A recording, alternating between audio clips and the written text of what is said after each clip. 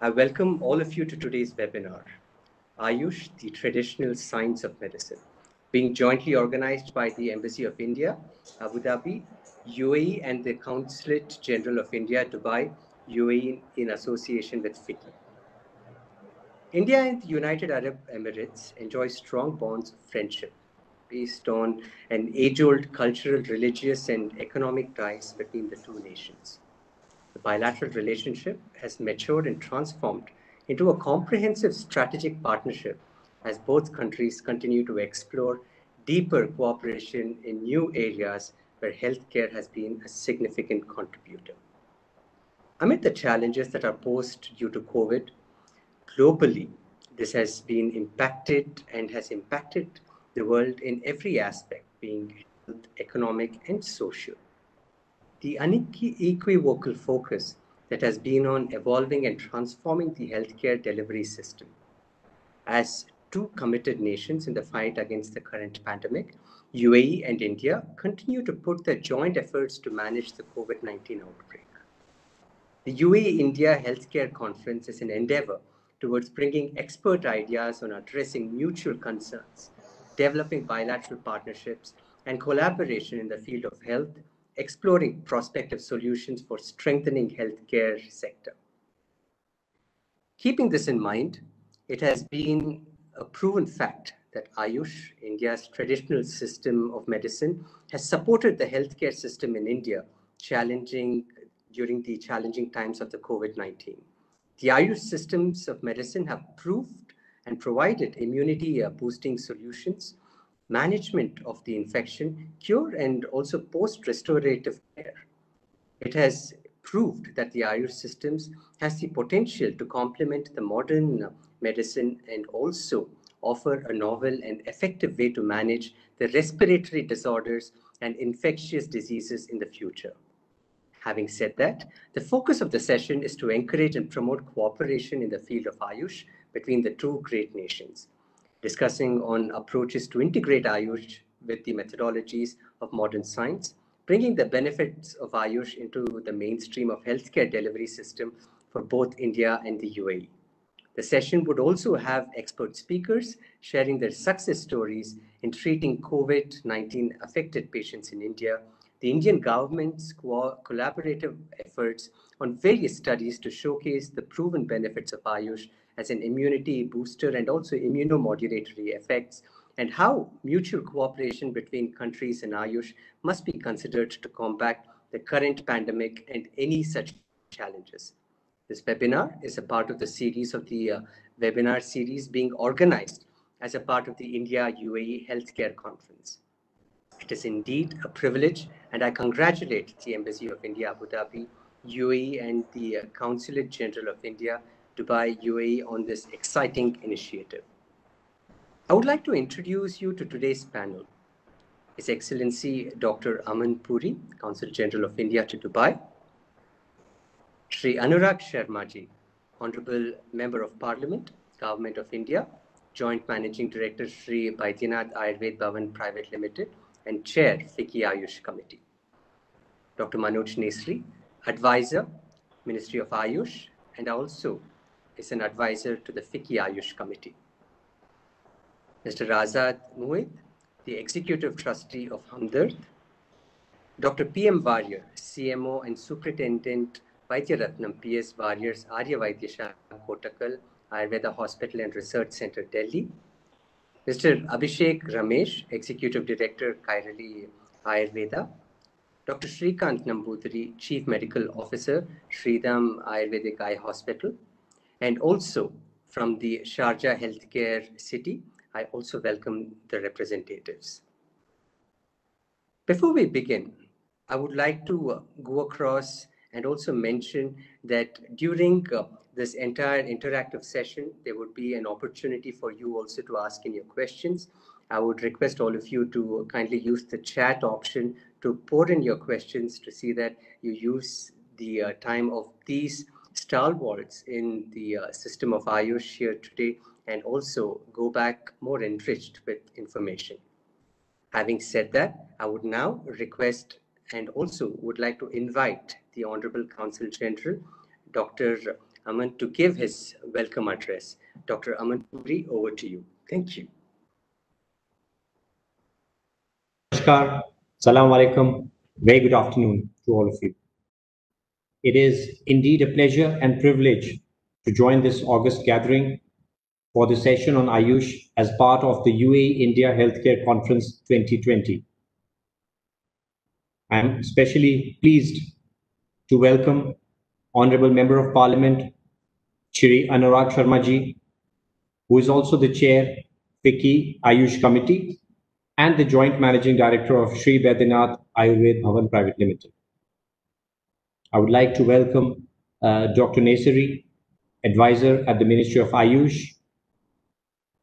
A special welcome to our friends from Sharjah, Mr. Hamad Al Muzemi, who's from the Sharjah Health Authority. And I must add that the Sharjah, Sharjah Healthcare City is very keen to have the investment and the footprint of Indian Ayush uh, organizations. Would like to welcome all other panelists. It's a very esteemed panel, and I'm looking forward to your valuable inputs and ideas as we discuss the potential of collaboration between UAE and India. India has been giving specific focus on Ayush and also in its integration with the healthcare systems across the globe. The recognition of Ayush systems by the government of UAE and a strong presence of almost 500 plus Ayush practitioners across the United Arab Emirates vouch for the growing credence of Ayush in the Gulf nations one of the Indian Ayurvedic cosmetics, personal care, and drugs manufacturer Himalaya already operates a lab complex here in Dubai since 2013, and they are hoping to launch their global research center in Dubai next year. I'm sure many other Ayush organizations and organizations who have been doing extraordinary work in India will look at UAE as an opportunity uh, to establish their presence and grow their presence uh, not only for the UAE market, but also to meet the demands from the larger MENA region, for which UAE, UAE has always been a gateway for India. With these words, I thank everyone to join this panel and look forward to a very fruitful discussion. Thank you so much. Over to you, Arvind. Thank you so much, Your Excellency, Dr. Aman Puri. I think with these uh, words, you've really set the tone and also the premise that how the entire Ayush systems could actually be as a as a synergistic um, you know value approach that what both India and also the UAE region can you know come across together. So I would like to start off this discussion. I would like to once again welcome all my uh, fellow panelists.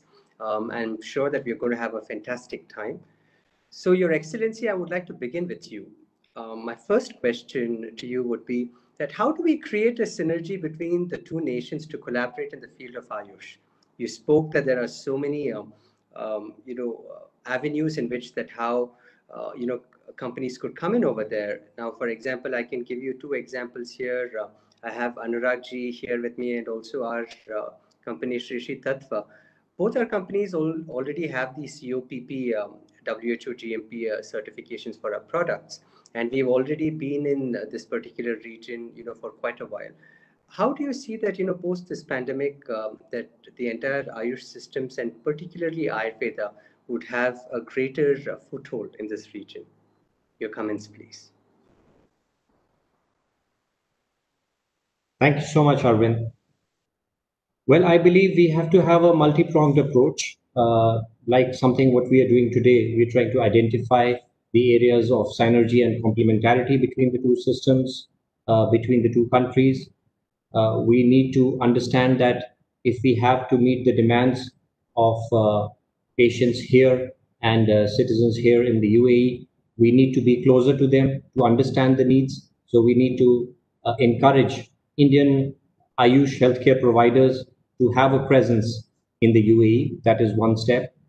The other is we are also hoping that we would have uh, one of the universities here in UAE, and the work is going on uh, in consultation with the Ministry of Ayush to have a program in uh, in the education sector So that is how we will be able to train people into the Ayush system here in the UAE. Uh, we are encouraging UAE investors to look at investments into Ayush in India because obviously it's a very uh, you know proven system which is uh, being used uh, specifically in the pandemic. It has shown its ability to support the prevention and support immunity, etc. So I think uh, if the two or three things I could say is that Indian providers need to look at having a footprint in the UAE. Uh, we need to encourage UAE investment into India in this sector. We need to uh, collaborate and create our partnerships in the healthcare sector, in the uh, specifically in the education field, and that is the way how we can increase the acceptability of Ayush here in the UAE. I think you've said that perfectly, Doctor, as what you rightly mentioned, that it's the holistic approach that would really, uh, uh, you know, do uh, this great science a lot of value in that particular region. You did make a mention about education and also the products and services going across together. Um, and yes, so I'm sure that all my industry members over here are certainly listening to this, and we are all with you in this approach. Um, having said that, what is the scope that you feel that that's there for Ayush in the entire of UAE. Um, for example, um, you would note that, you know, as what you rightly mentioned, there's so much interest among herbal, among natural, amongst Ayurveda, amongst wanting to be sustainable, amongst wanting to uh, get back to the roots. So what sort of, um, uh, you know, a trend do you foresee that's coming across in the next five years over there in that region? Do you think that um, the entire interest towards Ayurveda or the Ayurveda systems is only momentary, or do you think that it is something that's uh, going to stay here for the long run? My sense is that this is going to exponentially increase in a and also uh, one one last question that I would like to ask you before I move on to my next panelist, uh, Sri Anurag Sharma is that how do you think uh, that in terms of registrations of the medicines are, um, you know, going to be made much easier. Um, as what I rightly mentioned to you in the beginning, that both uh, Anuragji's and you know our organization already have the COPP. Um, I can go one step further by also mentioning that Sri Shritatva also has the uh, uh, site license registration for our uh, products and our facility there in UAE. So how do you think that this pandemic has really changed that? Do you think that uh, there's going to be a single window system and things are going to become much more easier for Ayurveda and the Ayurveda systems to flourish there? Yes, just picking uh, from an idea which we were discussing just in the previous session in the pharma and medtech uh, medical devices sector. So I feel that, you know, these are milestones for which we need to work hard. We need to have a holistic approach and a multi-stakeholder approach by bringing all the key segments together and trying to uh, convey what exactly Ayush can offer, and then trying to address the specifics, uh, the technical aspects of the registration, etc., would definitely be possible. Uh, things like, you know, there is a whole journey of acceptance of a system in, you know, uh, another country. And as you know, Ayush is going through this journey worldwide. So I, uh, before coming to Dubai, I was serving in the United Kingdom. I was at Birmingham, and we were trying to uh, convey to the National Health Service of the UK what Ayush can offer. So you know, every uh, everywhere we'll have a kind of a different challenge. We all know that what Ayush can offer, and I am sure uh, several individuals who are resident of UAE have benefited from Ayush. They have actually traveled to India. They travel extensively to you know let's say Kerala and other parts of India to avail of the services.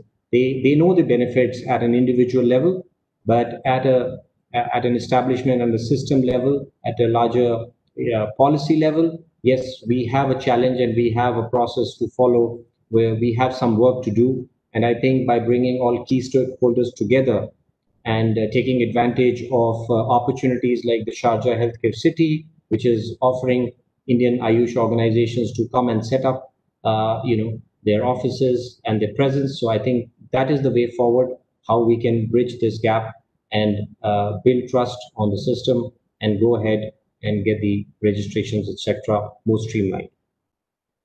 Thank you very much uh, for that, Your Excellency. I'm sure that uh, these uh, steps that what you've um, you know told us right now, the entire industry would make note of this, and we'll certainly see that we work towards this along uh, with your guidance and also with our ministry's guidance here. Um, now, moving over to uh, Mr. Anurag Sharma. Um, uh, Anuragji, I would like to ask you that you know being being an established brand in the global market, you know, Vaidyanath, how do you see that the growth of the Ayush medicines as globally and especially in the uh, uh, UAE uh, region and also the UAE market, how has it impacted? How is it so important over here for you as a brand?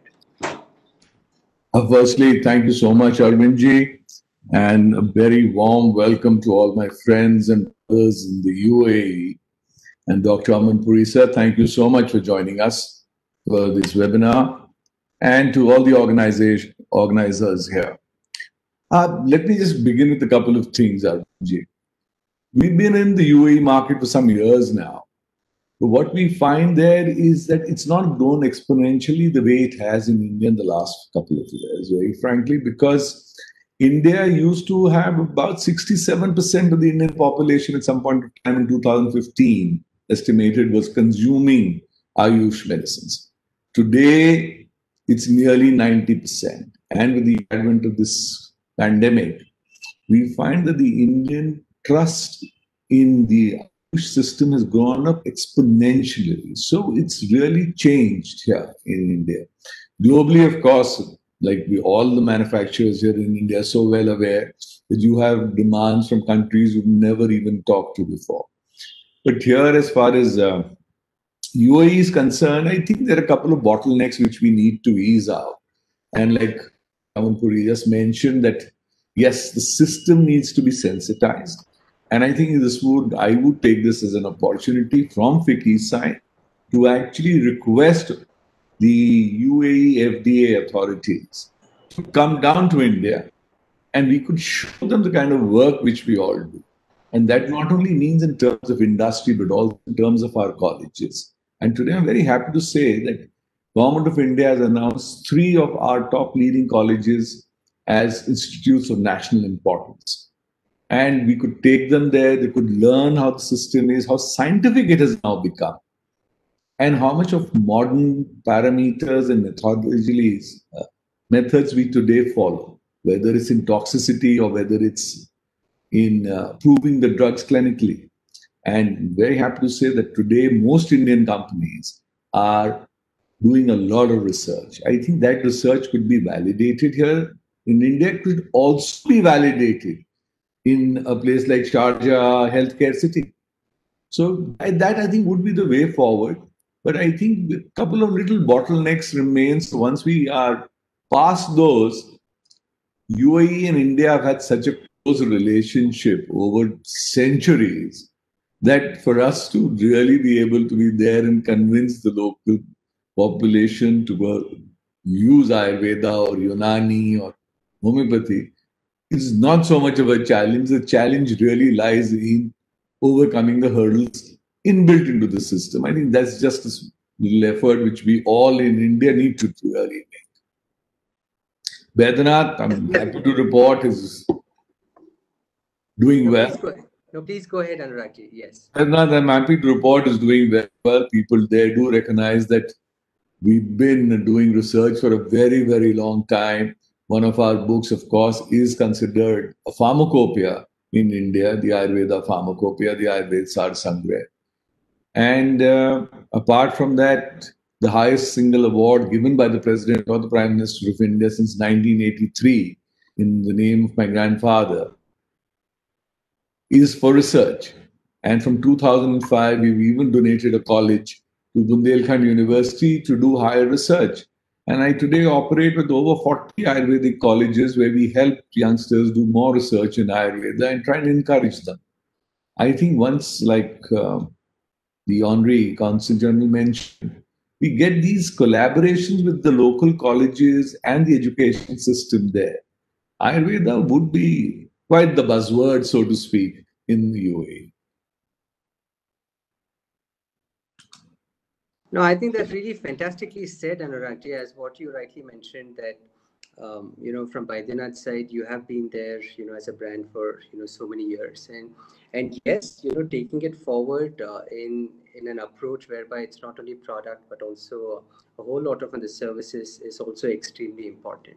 Um, my next question to you is that, see, how would you, uh, uh, you know, give some advice in case in in case if somebody new wants to come into the sector?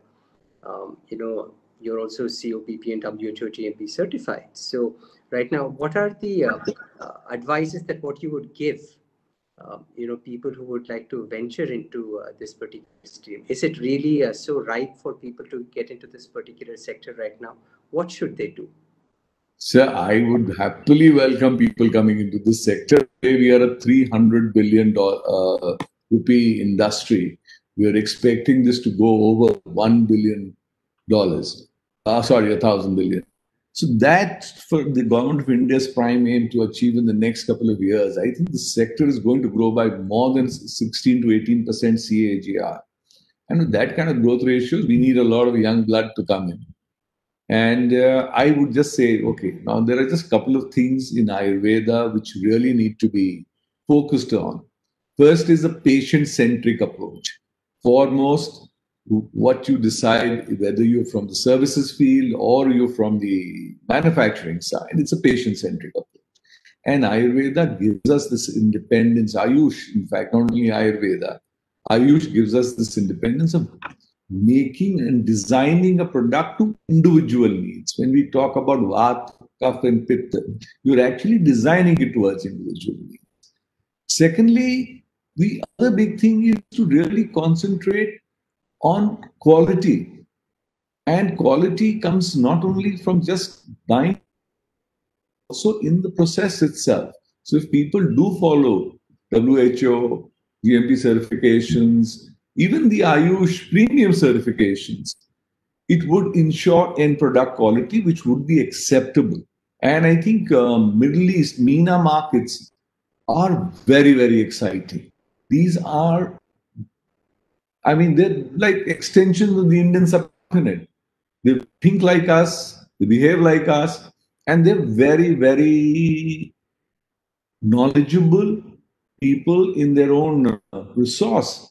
And for centuries also, every old civilization, Unani, a lot of Unani medicines have come into India from the actually from the Middle East. So, I mean, these systems have evolved. So for us to go there, and I think for youngsters in India to, whether we operate it through apps, we use modern technologies to deliver, we just need to be there on the on the ground, so to speak. Very fantastically said. And just one last question I have for you: What are uh, the three things that what um, you know that you would want from your side, from Baidyanath's side? To change in terms of policy or regulations to see that how it could be enabling for the entire industry there in the UAE market? So, uh, okay, from firstly, I would speak from the industry, from the manufacturing side, not from the services side. I think we have a lot more people here from the services side who are expert panelists and far more knowledgeable than I am in that sense.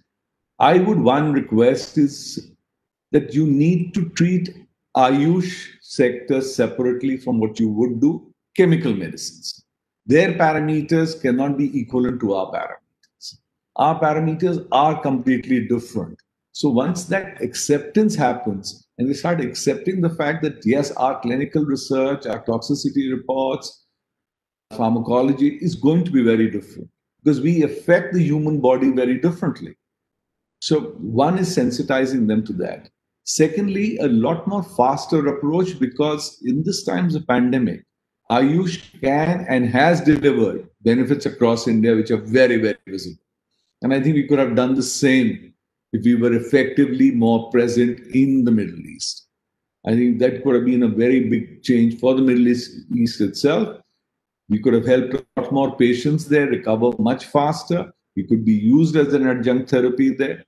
And I think, thirdly, since these are growing and largely very fast growing economies. They could also benefit from Indian investment in their sectors. So I think if they allow us to come in and do give us benefits of trying to get in a lot more raw material and products from India and setting up facilities there would be very, very helpful because then, like I've always said, Middle East was probably one of the largest launch pads for us to go into Africa. Africa is another market which is very large and which is very Ayurveda, Unani, homeopathy friendly markets. So that could be very big change for us. Thank you. Thank you very much, Anuragji. You're always very clear in your wants and yes, and that's something that what the industry definitely appreciates from yours. Um, going across to my next panelist, Dr. Manoj Nesari. We've spoken a lot about products, we've spoken about registrations, but what about the uh, fact of how the entire Ayush systems have been given greater recognition during the uh, pandemic? So, uh, uh Dr. Manoj Nesari I also would uh, request you to also uh, speak on some of the clinical trials that what have happened during this particular pandemic in the Ayush systems. Over to you, Doctor. Sure, thank you.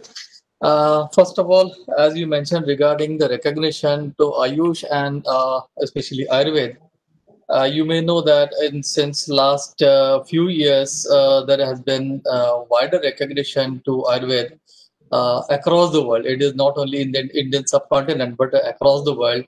So whether you consider it as Malaysia in 2016, so Malaysia recognized Ayurveda as a system of medicine in UAE itself, in UAE, Bahrain, and all this uh, Middle East countries, uh, Ayurveda is formally recognized uh, as a system of medicine. The products they can be registered there as medicine.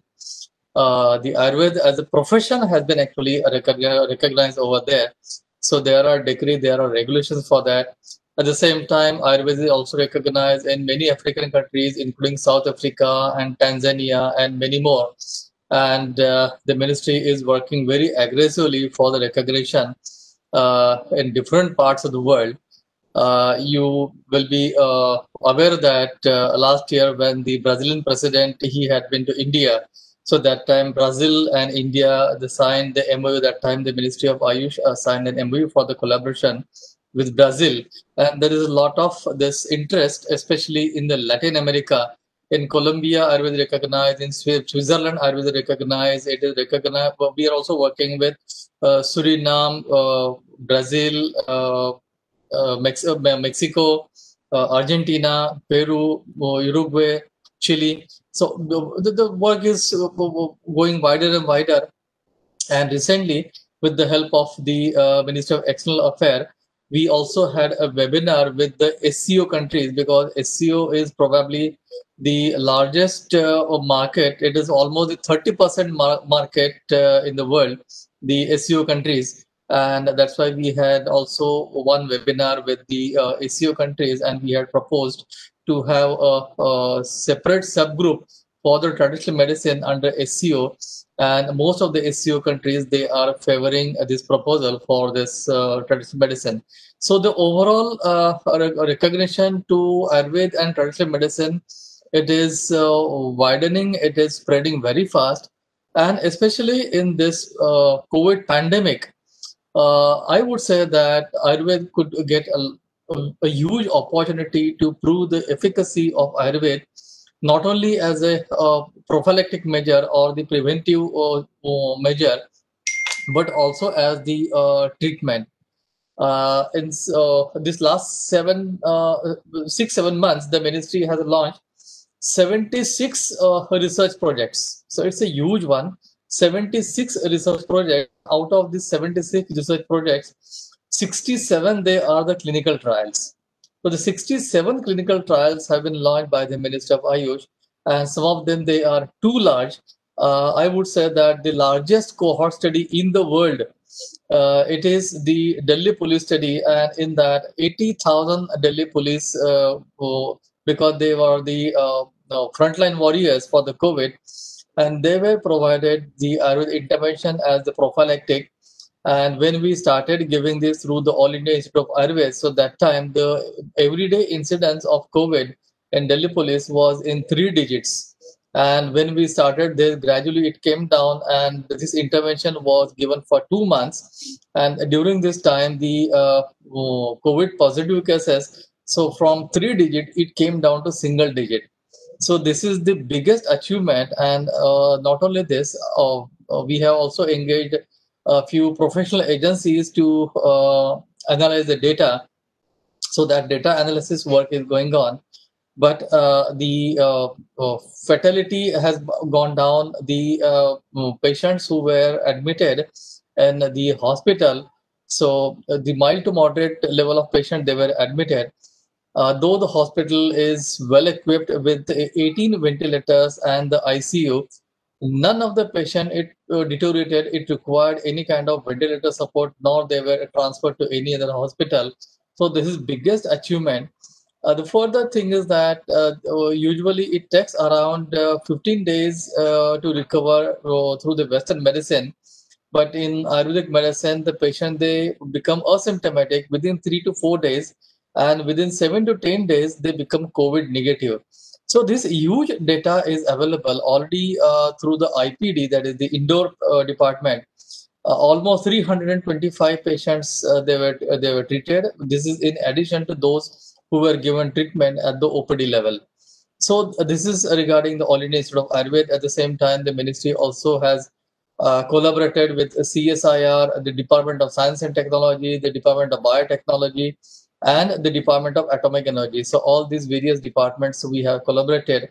There is one clinical trial of ashwagandha which is going on with CSIR. There is another clinical trial on Ayush 64, so that is also going on. Uh, there are many clinical trials which are going on uh, based on the uh, Guduchi, that is the Tinospora cordifolia. There is one trial with the combination of Guduchi and Piper longum pippali. So that is going on, and the results are very good. And uh, based on these various clinical evidences, the biggest achievement is that the government of India uh, integrated Ayurveda and Yoga in the treatment protocol of the COVID. So this is a national protocol of the uh, COVID treatment and management in which the Ayurveda and Yoga it has been uh, integrated, and probably it is the first time in the history after the independence that the Ayurveda is formally integrated into any national treatment protocol of any pandemic or epidemic. So this is the biggest achievement, which is the outcome of the uh, research. And one more thing I would like to uh, mention over here that we are also working with uh, so a few more countries to have intercontinental uh, tri- clinical trials on the Ayurvedic formulations. And in this, we are also having one partner from South Africa, one partner from Brazil, one from USA, and one from uh, Germany. So this is going to be an intercontinental clinical trial uh, on the same product and we will be working not only the clinical part at the same time the pharmacokinetics and the dynamics of the formulation this is really fantastic doctor and also i must make a mention that uh, you know dr nesari's um, you know uh, leadership you know especially in terms of advising both industry and the government is you know really uh, um, you know on on a very very visionary approach um, and also, there's one more thing that what I would like to add on to uh, uh Dr. Nesari, that what he mentioned is that during the pandemic, um, the entire Ayush sector was also put into the uh, essential commodities and services uh, law as well. And I think that this is something that's uh, a great achievement, uh, Doctor. And you know, we all congratulate you, you know, collectively for this. Um, you made a mention about so many different collaborations, both um, inside the nation and also outside. Now, considering that India and UAE are really coming across closer in terms of uh, bilateral ties and also uh, focusing on greater economic growth together, what do you think are the steps that what the ministry would like to take across and to see that how the entire Ayush sector uh, can be made uh, a more integral part of the uh, health sector of UAE? Absolutely. For this regard, first of all, as Dr. Aman he mentioned in his initial remarks, that the education is the foremost important sector. Uh, we have to integrate uh, Ayurveda and the Ayush systems in the, uh, the, the formal education, which is very essential. From the Ministry of Ayush, we have the program for the fellow to provide the fellowship, and we don't get many uh, the participants, or many students from UAE. So I would request the Indian Mission to promote the uh, this Ayush Fellowship program so that we can get more and more number of students from the UAE as well as the other countries in the Middle East so that we can have this more percolation, more awareness, as well as when we talk about the Ayurveda or the Ayush systems, there has to be uh, so many number of service providers. At the same time, there has to be a lot of awareness. So this Ayush Fellowship program, uh, in which we provide uh, 104 uh, scholarships, and this can be promoted. This is the uh, major initiative that I would like to say. At the same time, he was also talking about the uh, promoting the investment now, when we are talking about the investment, uh, from the Ministry of Ayush, we can provide the uh, uh, the uh, support to the extent to provide the technical and the uh, uh, the policy kind of support to any franchise investors who would like to invest either in India or in the UAE to establish Ayurveda institutions. And when I say Ayurveda institutions, so it may be the educational institute, it may be hospitals. So these kind of hospitals, they are required to be there. The, the Ayurveda Center of Excellence, so they need to be there. So this kind of collaboration has to be there and we'll be very happy to have this kind of collaboration.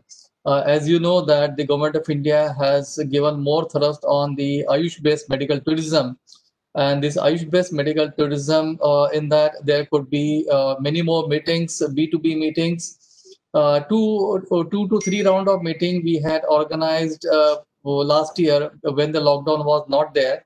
Uh, with the help of Minister of Commerce. Under the Minister of Commerce, there is a organization called as SEPC, that is the Service Export Promotion Council.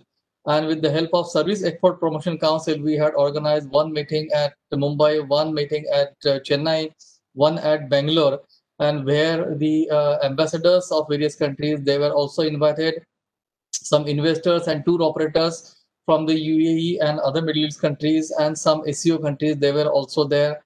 And we have also invited the various hospitals uh, from the Ayush system, whether they are from Ayurveda, Unani, Siddha, all of them they were, so they were invited over there.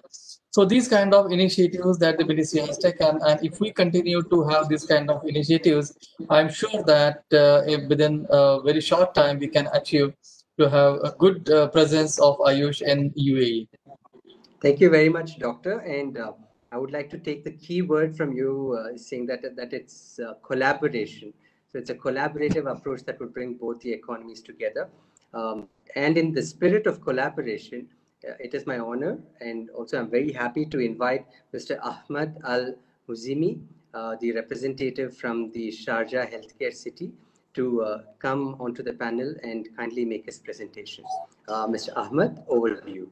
Yeah, yes. Good afternoon, everybody. Good afternoon, Mr. Ahmad. Your Excellency. Alhamdulillah, how are you? Assalamu alaikum, everybody. Yes, um, I would like to preface by saying that I have been treated with the Ayurveda approach before five years ago, and I'm very happy with the result. It was very good, but unfortunately, the, the clinic was very far from me.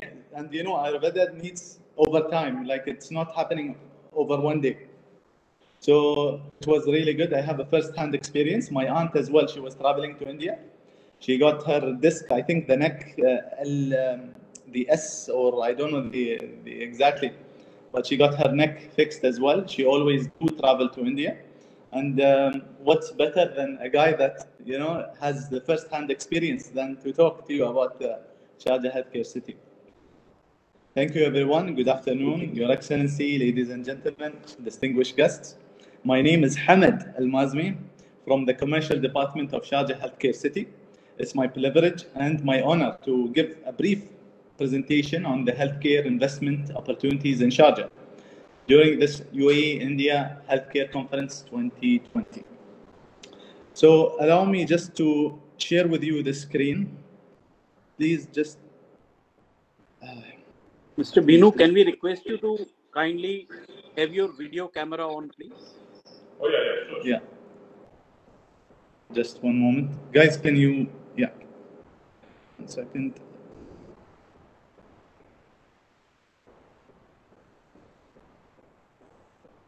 Uh, is it? Uh, either this or that, I think. Yes, Um, we, we can yeah. see the slide. Yes. Yeah. Okay. So allow me to start. Um, just with a history of the uh, Sharjah Healthcare City, it was formed with an Emiri decree in 2012 in accordance to the vision of the government of Sharjah to transform the emirate into a regional healthcare hub. Once developed, the Sharjah SHCC Sharjah Healthcare City would be amongst the few or world largest healthcare clusters. Like it will be around 4.5 million square meters. As you can see, the location, it's located in a really strategic place, close to the university city, as you were talking uh, in education, as well as it's close to Sharjah International Airport and Dubai International Airport. Thus, for encouraging um, healthcare tourism.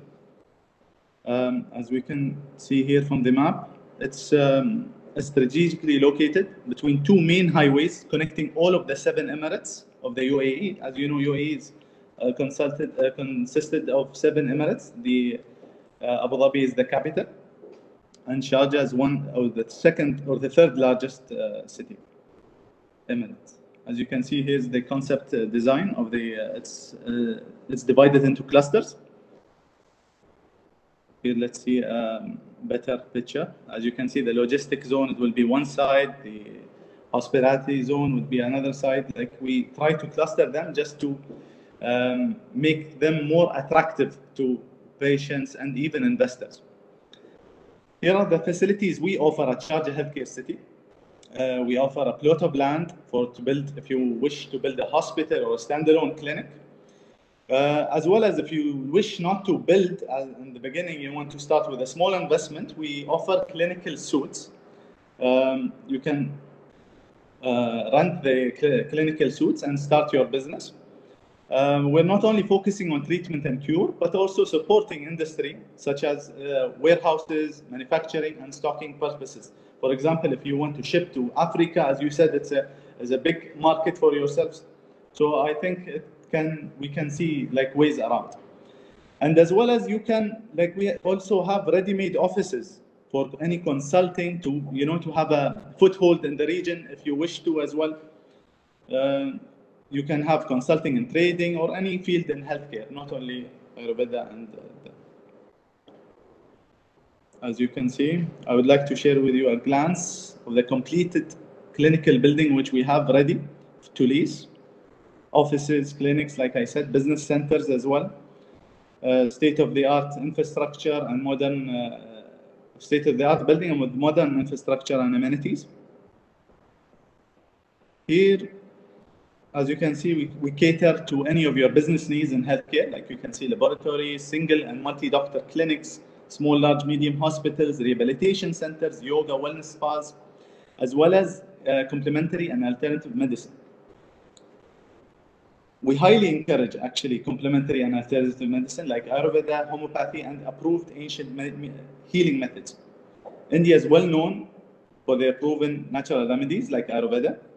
We, are, we really invite you um, into this niche market, and uh, hopefully you might uh, establish such hospitals to benefit the huge volume of the MENA region patients.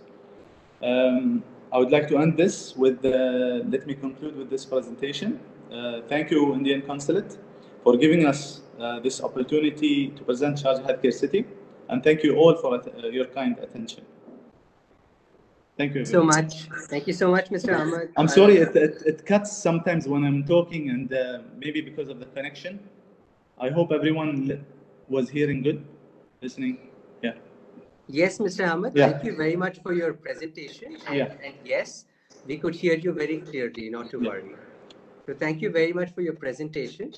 And um, and yes, I think that you have shown um, uh, everybody that what's the scope and also the level of interest that what um, Sharjah Healthcare City has for Yeah. Ayurveda and also allied sciences. Thank you very much for that. Thank Uh, you. Thank moving- you. Yeah. Moving The over to my yeah. next, moving over to my next speaker, Mr. Asad Mueed. Um, I would like to ask you a question, saying that in this entire pandemic, uh, uh, Mr. Azad, Yes, yes. yes, can you hear me? Yeah, yeah, absolutely. Yes, doctor. So, doctor, during the entire pandemic, uh, uh, you know, when it was at its high.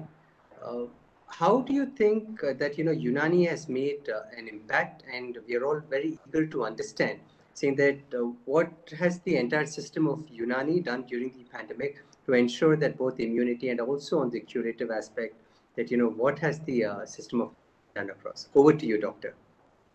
Yeah, I would just like to um, um, tell everybody that uh, uh, uh, the Unani therapy and all that kind of thing is very close to uh, the same ingredients that are used in Ayurveda and all that kind of thing. So, so mostly the principles remain the same.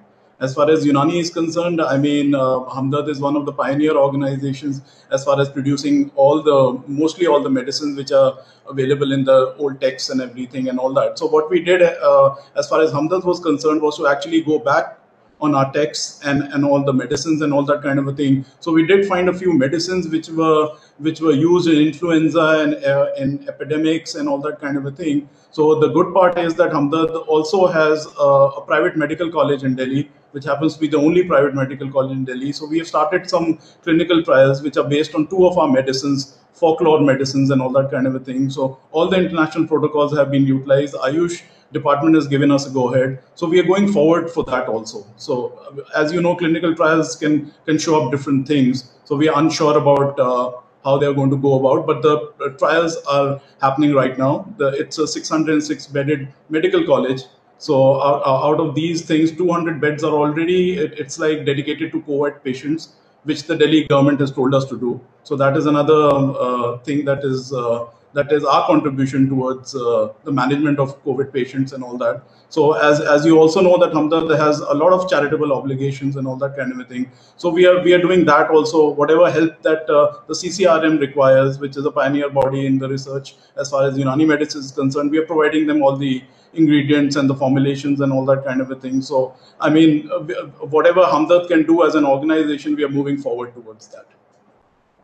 Thank you very much, uh, Dr. Asad. Uh, uh, everybody is, you know, well uh, informed about the wonderful activities that what Hamdard, both as an educational institute as well as, you know, an institute that brings across products in the field of Unani.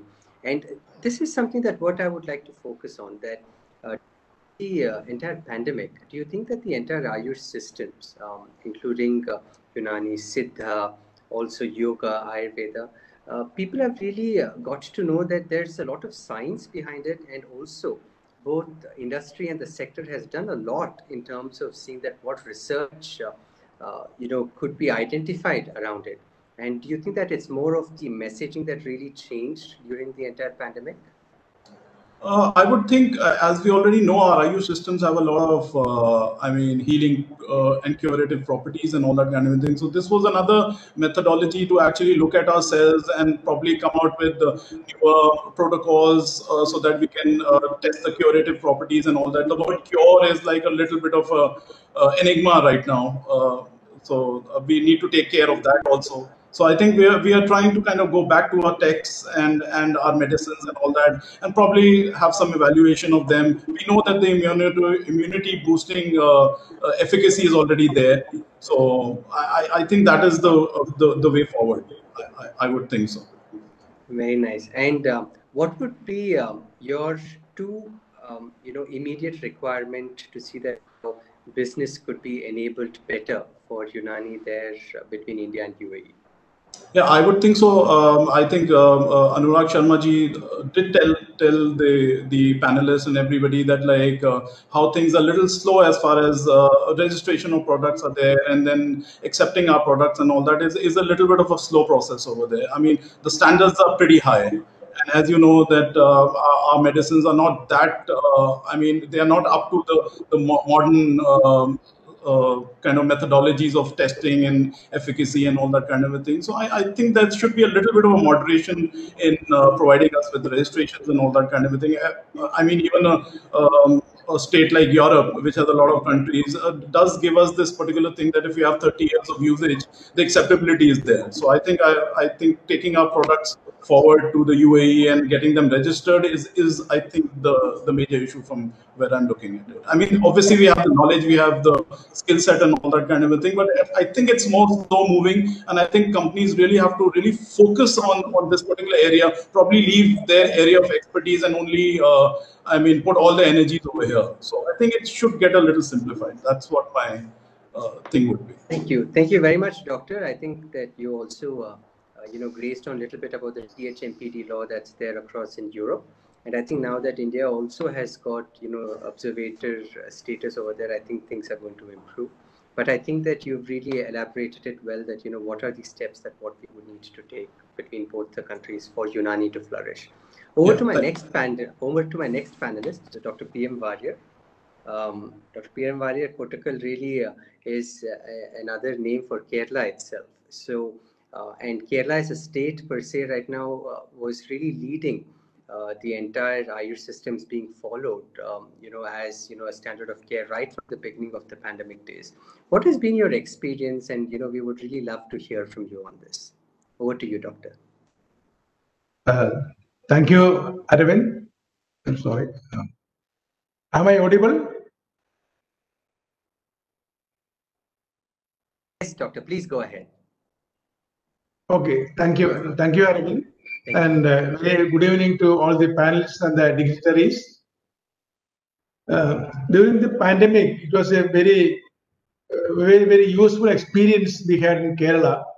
The government of Kerala has uh, constituted a, a, expert committee to handle the pandemic and uh, uh, several several type of uh, committees as well as groupings were done and there are mainly five groups in which uh, the program called amritam then Jeevan Raksha like that different groups were uh, given different set of medicines and it was evaluated and it is very very positive.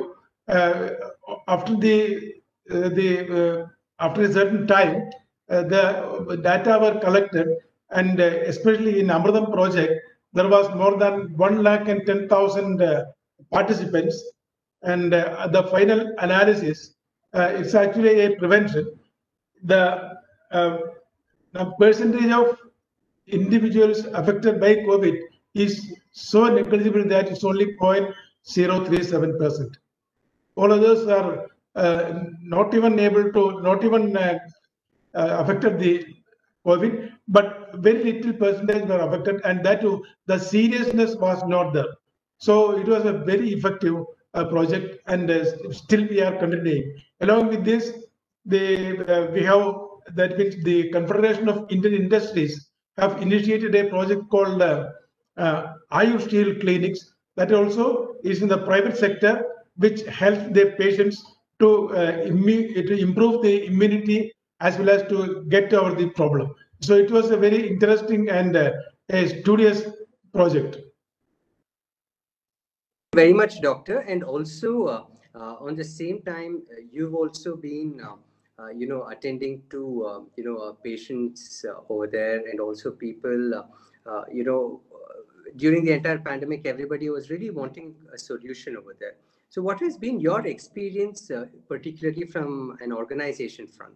You mentioned that you know how the entire state took on it. So, can you please tell us a little bit about what your organization did? Thank you. Yes, yes, of course.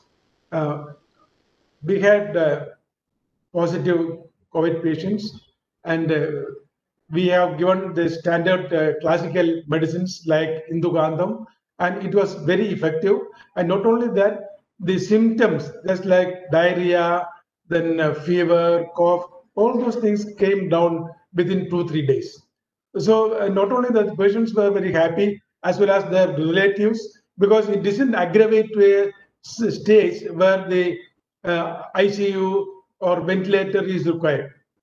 Most of the patients taking Ayurveda medicines were able to withstand the uh, bad effects of the uh, disease as well as to overcome it by earlier than the other treatments. So it's a very, very, I must say that uh, Ayurveda has a very effective a treatment protocol for this type of uh, infections.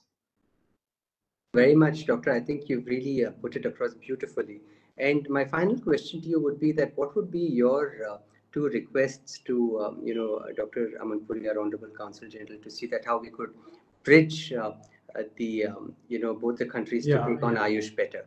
Yes. See, actually, we have uh, uh, uh, we have a lot of uh, medicines made available in UAE, and now we are trying to register the products. But the one problem is that uh, it is very costly. We can actually we have 500 plus medicines, even though all those medicines are not required for a uh, treatment because some of them are very medicines used for rare treatments, but uh, very common medicines will be around 50. So the uh, registration procedures as well as the charge is very high. Our uh, uh, actually this can be considered to be brought down when uh, with a bilateral government discussions with the UAE authorities. Thank you very much, Doctor, for your Thank you. thank you very much for your key comments, Doctor. Uh, moving over to my next panelist, Mr. Abhishek uh, Ramesh. So, um, uh, Mr. Abhishek, I'd like to ask you that uh, during the times of the pandemic and also post, um, you know, wellness centers are going to be in great demand to see that how people could attend to their own lifestyle. So, how do you see that you know these uh, wellness centers uh, or you know panchakarma centers that what Ayurveda has are going to be uh, you know a great sense of interest post this pandemic? Over to you, Abhishek. Uh, namaste, everybody, friends in India and in UAE. Thank you, Arvind ji, and esteemed panelists, for providing us this opportunity to see how Ayush can help the relations of UAE and India grow. Um, the question very critical for UAE also because UAE is also positioning itself as a place, place where people from the world would want to come, stay, and also transit. One experience that I'd like to share is that we have taken Ayurveda and the wellness aspects of Ayurveda and successfully integrated it into a resort facility in Europe. What we're doing over there is treating NCDs, which is 63% uh, cause of deaths in the world. So yes, we are going a, a pandemic uh, resulting in in uh, catastrophe and a huge number of deaths.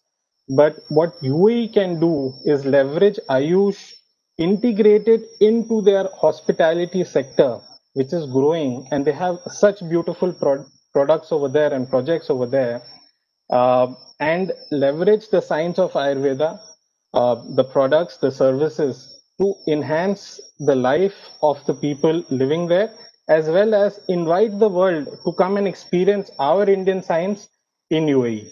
Of course, India is only three hours away from UAE. That is again a challenge. But if, uh, like the other stalwarts of uh, on this panel, also decide to set up uh, centers over there, that would be that would really benefit UAE. If we saw what Mr. Ahmed was showing in his brief presentation, also they had earmarked a certain section termed as a wellness resort. So this is uh, something which um, I think Ayurveda and the UAE government should definitely look into as to how we can present Ayurveda as a wellness product. Um, with that said, we should not dilute the clinical efficacy of Ayurveda as a line of treatment, which which is well researched, well documented. So we have to take a two-pronged approach and present both aspects to the people of UAE and the world. very much for that, Abhishek. And uh, just taking uh, one more point from what you mentioned that, uh, you know, what Mr. Ahmad also uh, presented here for Sharjah city, saying that inviting uh, organizations to come and set up, um, you know, wellness centers also over there. So um, right now, we do have a wellness center from Sri Tattva there in Dubai also right now. So now, as as a wellness center, um, you know, organization, what would be your requirement to to set up post pandemic? So, what do you think are changing now that you know that there is openness uh, from uh, uh, you know these Sharjah Healthcare City and more such partners right now? What do you think would be the enabling factors uh, for you to set up more such uh, you know wellness centers over there? Uh, thank you for that question. So, Kairali, as an organization, we've been running 35 centers in 10 countries now. Abu Dhabi, we set up a very small center 14 years ago in on Muroor Road. Um, during the pandemic, since the guidelines weren't clear as to how Ayurvedic therapies can be performed in UAE, we had to re, re, uh, bring back our staff. Eventually, they will be heading back. Um, in terms of uh, a wellness center, there are three critical components. One is the qualified doctor who runs and who's the heart of the establishment. The second are the paramedical staff who perform the duties of the services. And third, which uh, Dr. Varier and uh, Mr. Sharma has touched, that we need to get the products there. So if Yes. these three critical parameters are addressed, then Yes. only wellness centers can be established. One good thing about wellness centers is that the topical application products are classified under a certain category, which are easier to register. So mm-hmm. we are able to get into the system.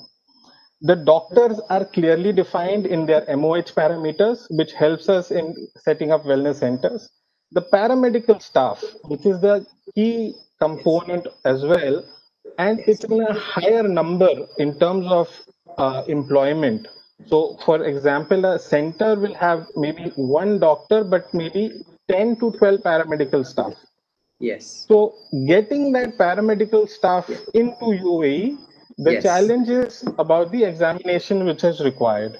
Yes, Uh, no, very, very, very correctly correct. No, very uh, Yeah. properly put across, Abhishek. So I think that it's not only on the uh, doctors that what we would need to focus, but also on the therapists that would be accompanying them for, you know, certain, um, uh, you know, therapies. Because Ayurveda and as well as wellness centers are uh, a lot dependent on the therapists as well. Um, so thank you very much for that, Abhishek. Uh, uh, I'm moving across to my next panelist, Dr. Shrikant uh, Nambudiri. Um, thank you very much, Abhishek, for that. So, Dr. Shrikant, I do believe that you have a presentation. Uh, I would request you to kindly share your screen and also uh, keep your, you know, points brief, uh, so that you know we would also have you know closing comments from our honorable Consul General post this. Thank you, Arvind ji. Uh, most respected uh, uh, General Dr. Aman Puri sir, uh, or Manoj Nesari sir, and uh, uh, Sri Anurag Sharma ji, uh, Arvind, of course, Arvind ji, and Madhavankutty sir, uh, Abhishek Ramesh, and other dignitaries. Uh, I will be just sharing uh, some of my slides so that uh, you can understand what is our institution called Sreedhareeyam and what is the what are the objectives and as part of this COVID pandemic, what are the things which we have already done. Hope my mm, presentation is visible to all of you. Yes, doctor, it is, and uh, I would request you to uh, kindly, uh, you know, uh, go through it in brief. Thank you. Yeah, sure, sir. Uh, uh, first of all, let me just tell you, late Dr. NPP Nambudiri, who is was my who is my father, who has started this Sreedhareeyam in. So myself, I am Dr. Sriga Nambudri, working here as the Chief Medical Officer. And see, basically the Ayurvedic science, it has got uh, the first and most, most ancient medical science existing today. And over thousands of years of existence, the basic principles. So the, as we all doctors, we know that the basic principles have never been changed and it, it has, all the things are derived from the universal laws of nature. And see, coming to the eight branches, I am just dealing with the uh, uh, fourth one, that red color indicated Salakya Tantra, diseases above the clavicle. And there are eight branches which has been explained by uh, the traditional Ayurvedic medicines, out of which general medicine, pediatrics, and Urdhvanga ENT ophthalmology, and which comprises of Shalakya Tantra, uh, which includes ophthalmology, otology, rhinology, and oral hygiene, uh, dentist and laryngology, and of course the disease of the cranium. And coming to the uh, these this thing, the most uh, specialized uh, organ called netra or eyes, eyeball. Uh, see, the most developed branch of life science since ancient times, and the detailed description of eyes it has mentioned in our classical textbooks, and systemic classification of diseases are again explained, and the managements like medical management, surgical modalities, and of course the topical applications like netra kriyakalpa and to some extent, the brief account of ocular trauma has, trauma has been explained in our classical field. And we, the Sreedhareeyam, excel in this ophthalm, Ayurvedic ophthalmology with the goodness of modern technology assimilated into the old age, age-old science. See, these are some of the picks from different angle of this institution. Uh, the second one, you can see just see that the Department of Ayush has recognized Sridhari as uh, Center of Excellence in Ayurvedic Ophthalmology. This is a 350 bedded hospital and the third one, which you can see the uh, five, uh, I mean, five star level classical villa project, which the uh, the other rejuvenation treatments, all the things were going on apart from this ophthalmology. And these are the some of the modern techniques and investigation tools uh, like OCT, fundus image, B scan, HFA, uh, and other pathological equipments, uh, hematology lab equipments. These are these are uh, the things which we use for diagnostic purpose. And as part of this COVID-19 and Ayurveda, we have started, initiated one uh, with the collaboration which as Dr. Uh, Madhavankutty sir was also already mentioned here, with the collaboration with the uh, I mean, Confederation of Indian Industries, Hospital Management Association, and Medical uh, Ayurveda Medical Association uh, we have started a joint program called Ayur Shield Immunity Clinic. And this was a cohort study which we have used the combination, a simple combinations like Indukantham Kashayam, Sudarshanam Guliga, Dasamula Gadratram, These are the typical uh, classical Ayurvedic preparations which all the uh, companies are manufacturing. With this, we could trace 2,300 individuals and the uh, the uh, significant thing is the zero cases of COVID-19 has reported in this. And of course, we have distributed these medicines to our 800 uh, plus staff people, and there also no cases of COVID-19 has reported. And the information, education, communication, IEC activities, which we shared all these things in multiple platforms, locations, and our branches for general public. And as a continuation of that, Ayurveda has highly efficient improving immunity by, that's what I was just mentioning in the previous slide, that indicates with the general Ayurvedic classic books. So, doctor, so doctor, yeah. um, uh, I have a very uh, you know interesting question here, um, and um, you know during the COVID nineteen pandemic, it's brought to our attention that the virus enters through you know our eyes and also and you know more so from the extremities of the hand and also uh, you know from the nose and also affects the respiratory uh, you know organs. So, what has um, your organization done in this particular um, you know time to address especially you uh, specialize on the eyes so what have you done as an organization? Yeah that's what sir. I am coming to the continuation of this covid-19 even with the mask sanitizers all the things we have protected with the our uh, oral pathway nose all the things. But uh, the exact thing is the eyes and ears are always exposed to the viral pathogens. So we have got another uh, the specific treatment modalities like netradhara eye wash and uh, instilling eye drops and for fumigation towards uh, uh, ears and external therapies to uh, just as preventing the virus attack through towards these these entities like eyes and ears. And through this cohort study we understand that ayurveda has got a preventive against covid-19 and with around 30 centers across india we aim to spread these benefits of ayurveda nationally. And this is our aim uh, means the the possibilities which can be done uh, for spreading this virus that can be done. Because we already had seen a good result with the specific ayurvedic medications and treatments. And so we need to get uh, more uh, effort study with the full-fledged clinical trial with the CTRI approval. And going to the other uh, other things like which are which these are the diseases which already we treat like diabetic retinopathy, retinitis pigmentosa. Even nowadays, as I was mentioning in the last nowadays we can see that uh, since because of this COVID-19 pandemic, we all are uh, adjusted with these type of systems and all the meetings, all the things are going on through these uh, these uh, platforms, Zoom or this uh, uh, other online. We need to strain our eyes for long, long time so that again developing of dry eyes, all the things. So there are some of other preventive aspects to uh, uh, avoid the strain for eyes. Yes, And doctor.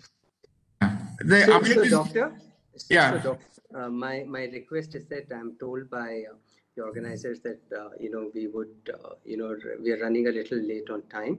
Uh, my request is that I have another question for you that um, that in terms of uh, in terms of this pandemic, you know what are the things that uh, you when you specialize on the um, eye um, you know part in Ayurveda what would be your recommendation to uh, people at large? So uh, I would request you to kindly, uh, you know, take on this question so that everybody could benefit before I close in the session. Ah, That's what, sir. In the second picture, we can see that this is a highly sterile hydrofilling manufacturing. As I already mentioned you, something in preventive this thing, we can able to manufacture medicines and for preventive this thing, we have treatments also. So with this, I mean, these are some of the pictures of uh, manuf- I mean, manufacturing unit and the treatments. So that uh, the preventive line of medicines that can be packed in uh, if at all anything is that can be done for expose uh, um, I mean export and all.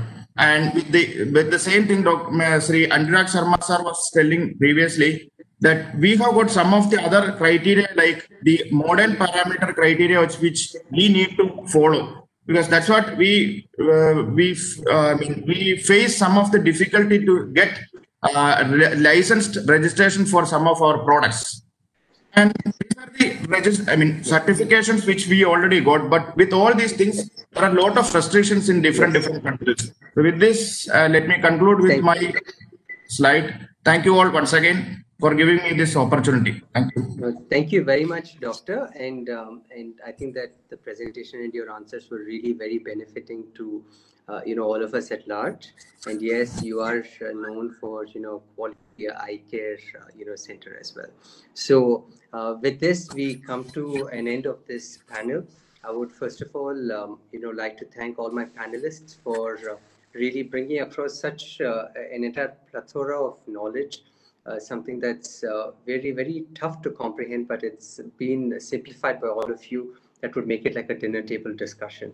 So it's been a real pleasure.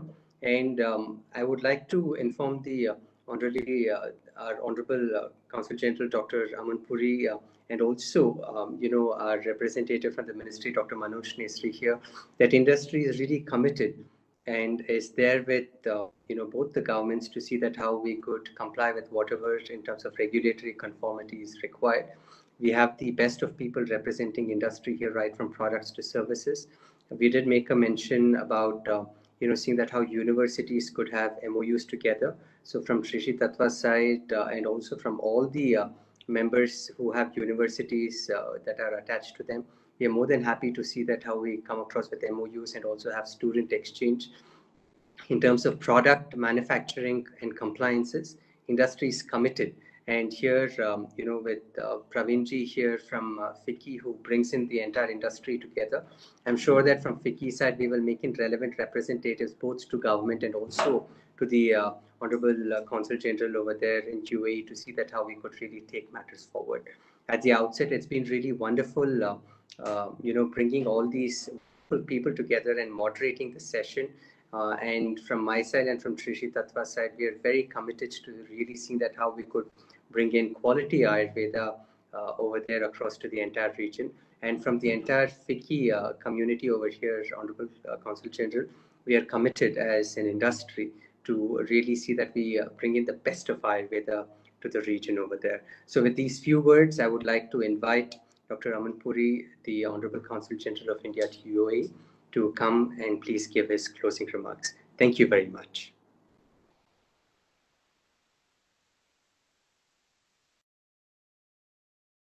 Thank you so much, uh, Mr. Arvind Varchasvi. Thank you so much.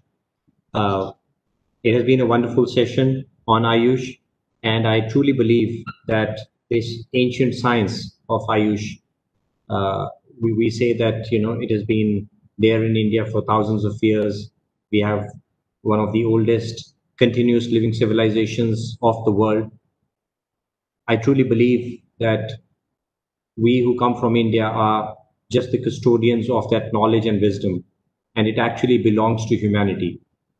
It is our obligation to make sure that we are able to share this wealth of knowledge with the world, with our brothers and sisters all across the globe, and uh, in the true spirit of Vasudhaiva Kutumbakam, where we uh, truly believe that the whole world is one family, uh, I think it is very much part of the DNA of every Indian. And uh, in that spirit, uh, we must do our best to share our wealth of knowledge uh, with everyone for the benefit of people all over the globe.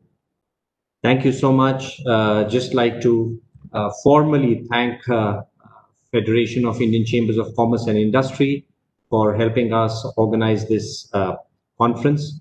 The UAE India Healthcare Conference 2020 aimed at catalyzing partnerships between UAE and India in uh, both the public and the private sectors. Uh, I would like to thank uh, Dubai Health Authority, the Sharjah Health Authority, our Ministry of uh, uh, the Ministry of Health and Prevention uh, based in Abu Dhabi, the National Health Authority of India, Dr. Sangeeta Reddy, who is uh, the uh, Joint Managing Director of the Apollo Hospital Group, also who's the President of FICCI. Uh, special thanks to Honorable Member of Parliament, Shri Anurag Sharma uh, who is uh, heading the Ayush FICCI panel. And of course, to all the speakers, uh, uh, Dr. Manoj Nesari, uh, Dr. Varier, Mr. Abhishek Ramesh, and I believe some of the speakers have probably left the panel right now. But my congratulations and thanks to all the speakers. And a very special thanks to Mr. Praveen Mittal, the Senior Director at FICCI, uh, with whom we had very long conversations, who has actually been the person instrumental in the success of this day-long conference, who has painstakingly uh, spoken to each and every uh, speaker and who has really been the uh, force behind this event today. All our moderators, Dr. Narottam Puri, Ms. Smriti, and yourself, uh, Mr. Arvind, thanks to you. And uh, we had some wonderful sessions. Uh, just to let everyone know for the benefit of everyone that the consulate along with FICCI will be working on a report of today's conference, which will be shared with all the speakers, with all the participants, and for any organization or individual who would like to benefit from this exercise.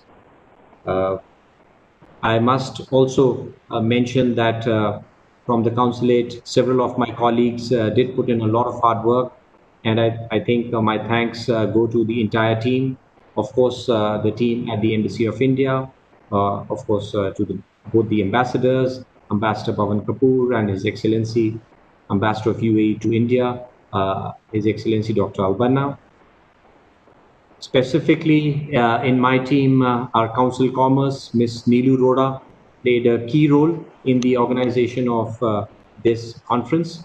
And along with her colleagues, thank you so much.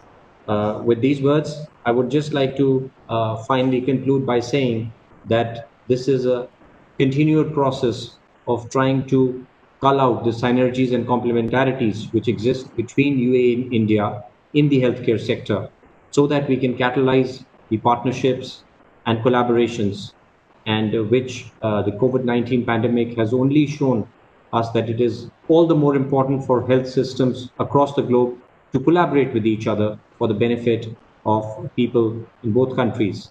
And India truly sees its partnership with the UAE as a building block of its partnership in the larger region and reaching out to the MENA region. Again, uh, I would like to take this opportunity to thank the UAE leadership and all UAE authorities for providing exceptional support and care to all their residents in the times of this pandemic including the very large Indian community who reside in the UAE. Thank you so much and wish you a lovely evening. Thank you.